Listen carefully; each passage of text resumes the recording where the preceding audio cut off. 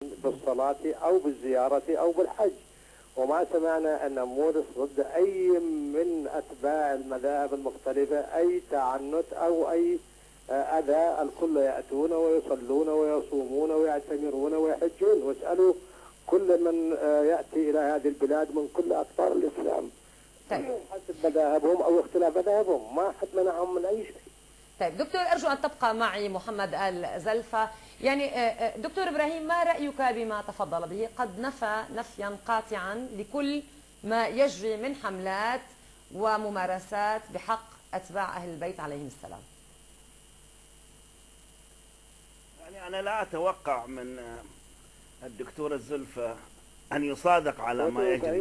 من ممارسات طائفية. لأنه يمثل وجهة نظر الحكومة بشكل قاطع. والآن نتحدث نحن عن استفزازات أو ممارسات في الرياض. آه، نحن نتحدث عن ممارسات طائفية آه، مغطاة من من الدولة في المنطقة الشرقية في الخبر وفي الدمام وفي وفي المناطق الأخرى. نحن لا نتحدث عن الرياض آه، وهو ربما استعمل آه، خطابا أو آه، لغة عامة وكأنما يتحدث عن الحجاج والمعتمرين الذين يأتون المملكة ويصلون في الحرم المكي. أو في المسجد النبوي.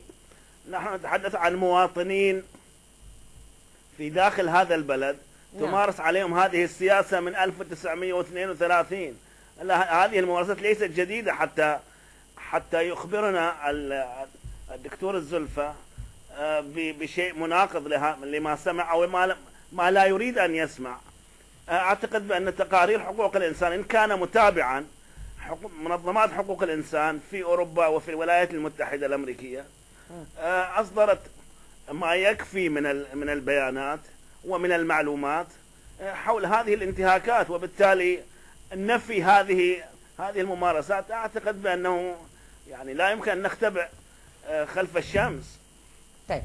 دكتور محمد آل زلفة تفضل. ماذا تقول؟ يعني لماذا دائما ينفي النظام السعودي وجود مثل هذه الوقائع؟ وتحديدا في المنطقة الشرقية حيث يتواجد أتباع أهل البيت. عليهم السلام. آه، نحن كلنا أتباع هذا البيت. إذا كان آه، آه، يعني رب البيت ال- الإسلامي كله محمد ابن عبد الله صلى الله عليه وسلم وصحابته وخلفائه الراشدين فنحن أتباع جميعا لهذا. ما أدري بماذا يتعنون بأهل البيت. أنا أعرف أهل البيت الذين هم ينتمون إلى سلالة رسول الله صلى الله عليه وسلم. ويشكلون آه، آه، نسبة لا بأس بها في المجتمع السعودي. لهم مكانتهم ولهم احترامهم ومنسجمين ومن وهم من آه، يقومون بكل صلواتهم وكل عباداتهم وكل ممارساتهم الشاعرية بشكل طبيعي. إذا كان آه، الأخوة الأخوة يعني من من يتشيع على أهل البيت ولكنهم ليسوا من أهل البيت. فهذه قضية مختلفة ولا أعتقد أيضا أن يتمتعون بكامل حق المواطنة في الحقوق والواجبات في الأعمال وفي الممارسات وفي التجارة وفي كل شيء. طيب. آه، منهم الأطباء ومنهم المهندسين ومنهم أعضاء مجلس الشورى ومنهم آه، آه، من يتمتعون بكامل حريتهم. أنا لا أدري بالضبط ما هي الحريات التي يقول الأخ ومع بالأسف أني لا أسمع صوته بشكل جلي. ما هي الممارسات التي تمارس ضد ضد الأخوة الشيعة؟ أما آل البيت آه، فلدينا كل يعني من هم آل البيت؟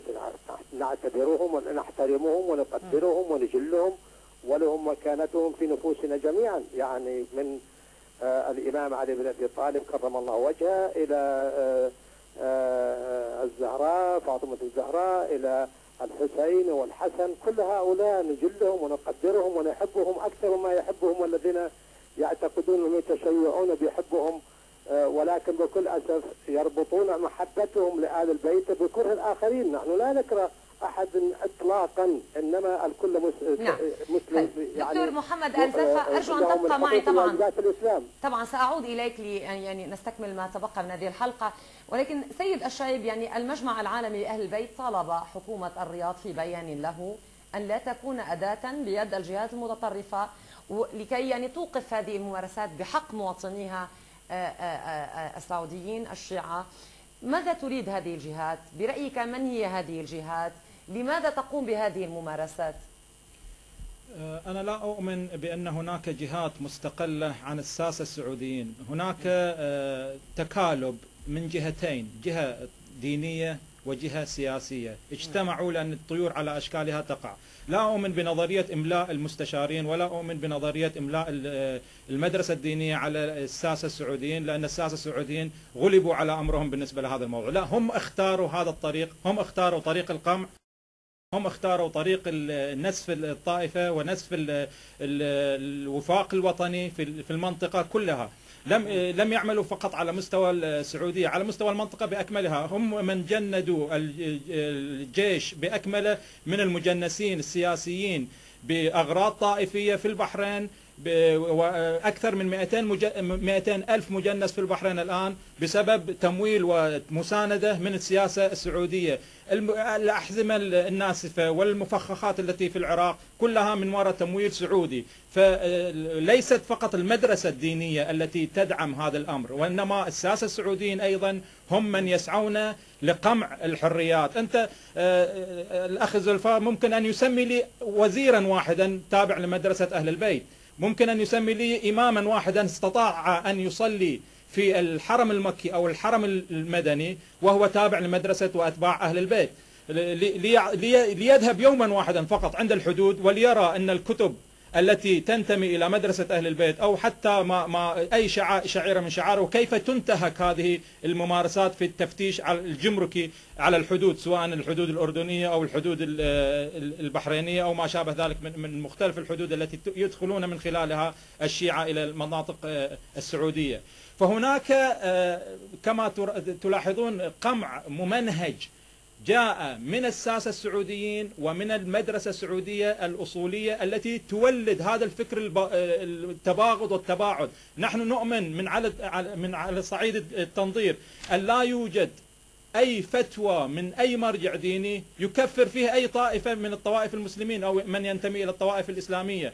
لا يوجد على التطبيق العملي على صعيد التطبيق العملي مؤتمرات في حالة انعقاد دائم للتقريب بين المذاهب يوجد لدينا. كانت مسيرة وحدة وحدة إسلامية.